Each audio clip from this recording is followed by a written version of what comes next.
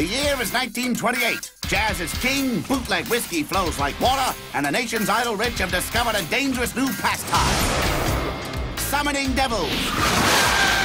To combat this growing threat, a new order of holy warriors has been formed. And the greatest agent is...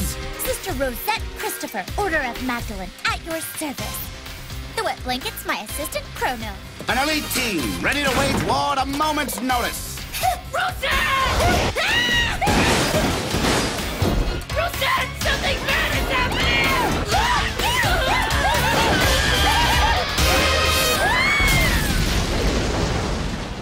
Hoped that this time the destruction would be kept to a minimum, Sister Rosette.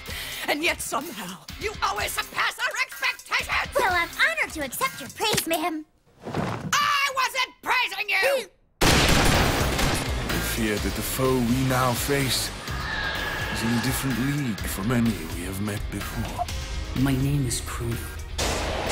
And what I am is what your people call a devil. The source of Chrono's power is the soul of his contractor.